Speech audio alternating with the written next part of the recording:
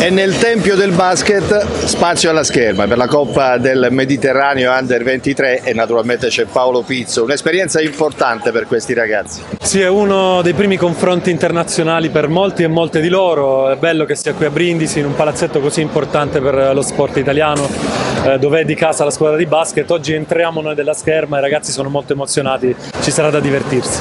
Ieri abbiamo lanciato messaggi importanti perché lo sport è veicolo di pace. Non è retorica più, è difficilissimo oggi far incontrare i popoli su un terreno dove c'è uno scontro sano come lo sport, va difeso, oggi è una giornata importante.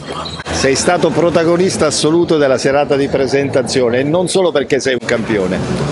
Beh, sono stato protagonista perché cerco sempre di, di far bene dove, dove, vengo chiamato in causa. È una città che amo questa, ho passato tante, tante estati della mia vita a Brindisi e dintorni, eh, quindi mi viene naturale, sono felice qua.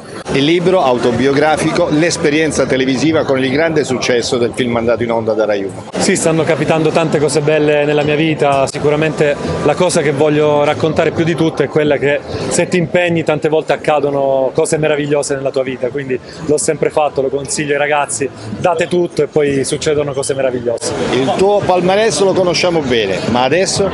Adesso voglio essere un ottimo padre, un buon marito e probabilmente un buon dirigente sportivo, ci sto provando. E anche un buon maestro. Quello sì, avrò gli esami, non voglio parlare prima, non voglio fare spoiler, gli esami da maestro di scherma in primavera, ci tengo tanto. Paolo, per concludere un messaggio alla grande famiglia della scherma e soprattutto ai giovani.